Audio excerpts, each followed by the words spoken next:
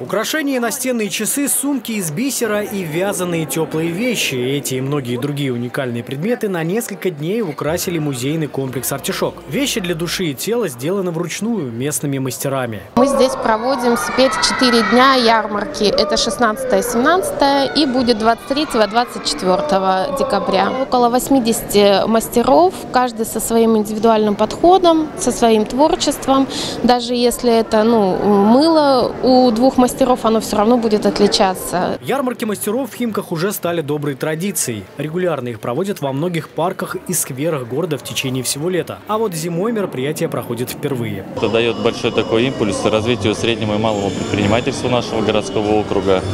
Вот. Мы смотрим, как люди здесь покупают, интересуются, обмениваются данными. Это очень здорово. Ну а для тех гостей, которые сами пожелали поучаствовать в творческом процессе, в культурном комплексе «Артишок» организовали зону, где дети и родители смогли смастерить смастерить вещицу по душе. Для них подготовили краски, бумагу, пряжу и другие подручные материалы. Александр Сергеев, Новости Химки ТВ.